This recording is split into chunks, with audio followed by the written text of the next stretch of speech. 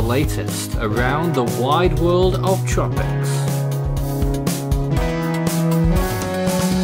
Tropical Weather Bulletin for June 30th.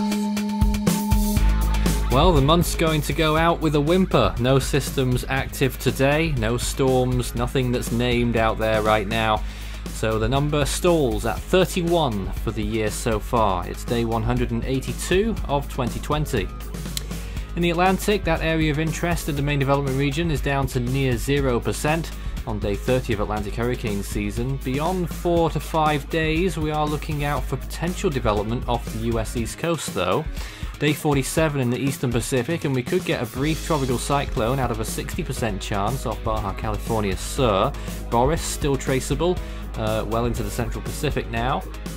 And nothing is active yet again in the western Pacific, which is uh, really in a deep slumber right now, and nothing on the horizon either.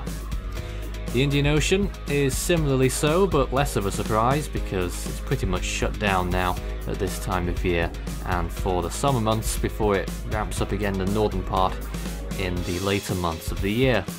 North Atlantic looks like this. You can see that little area of interest on the uh, eastern side of that uh, round oval, um, but doesn't look like much is going to come out of that. That's why we've toned it down to 0%. I think National Hurricane Center still have it at 10.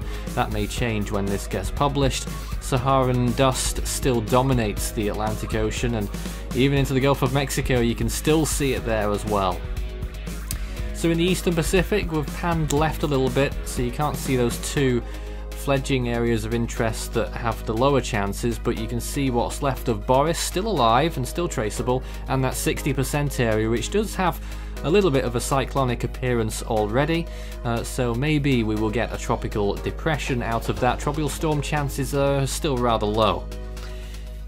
The Western Pacific, very little going on. You can see monsoonal development more than anything going on in the South China Sea. Over China itself, some big thunderstorms blowing up again in the southwestern part.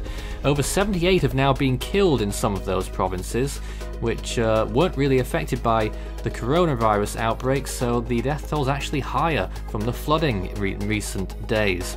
In the South Pacific, things looking fairly quiet here, just a few more rumbles off the Solomon Islands and in the Indian Ocean. There is some significant thunderstorm activity over India, uh, but over the oceans, very little going on, and what's left of those areas of interest on the southern side of the equator continue to deteriorate. Sea surface temperatures, a little pocket of 30 degree waters off the uh, coast of uh, southern Mexico now, but the East Pacific in general still somewhat cool. The Atlantic warming up again, uh, more of the Bahamas getting in on those 30 degrees Celsius waters and extending out to the main development region, more warmer waters, 28 degrees or so, extending some distance now.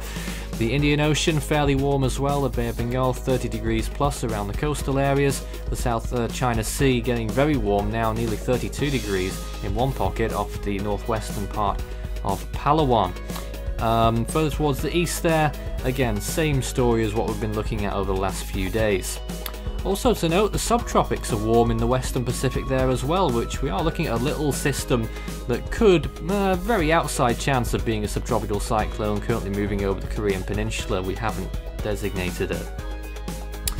On this day, on June 30th, 1953, Typhoon Kit was active as a Category 5. Yes, if you saw a few days ago, we had another kit that was a Category 5. Yep, there's two. Both in the same month.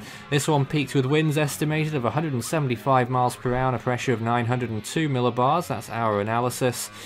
Um, also on this day in 2004 we had two typhoons. Mindulle off the coast of Luzon was weakening from a category 2 and another storm whose name has escaped me now further out to sea that was peaking today as a category 1. Didn't affect land. The next name on the Atlantic naming list is Edouard followed by Faye. In the East Pacific, we're looking out for Cristina. That 60% chance, if it does happen, becomes a tropical storm. That's the name it will get. Douglas would come after that. In the Central Pacific, Hone is next on list 1. In the Western Pacific, Sinlaku, followed by Hagupit on list 3. And in the North Indian Ocean, Gati is the next name on the brand new list 1. Sort of getting into a bit of a loop here because I'm reading out the same names every day because we haven't seen any more storms. Imogen next up in the Australian region, Kundai in the southwest Indian Ocean if it happens today, and in the South Pacific, Yolanda is next up. That's all for now, I'll have another tropical weather bulletin tomorrow. Check out our new look cyclone tracker on the Force 13 website for the latest up-to-date information. You can also find us, of course, on our YouTube channel, search Force 13, and also on Facebook and Twitter, Force 13 at Force 13 on Twitter for the latest updates. You can also help the project become even better by becoming an Ultimate Fan on YouTube. To see the full list of Ultimate Fan benefits and to join, visit youtube.com forward slash force13 slash join. With a special thanks to our top supporters this month. You can also check out our growing merch store so you can show Force 13's colours wherever you go. You can also find a link to our Discord server underneath this video in the description.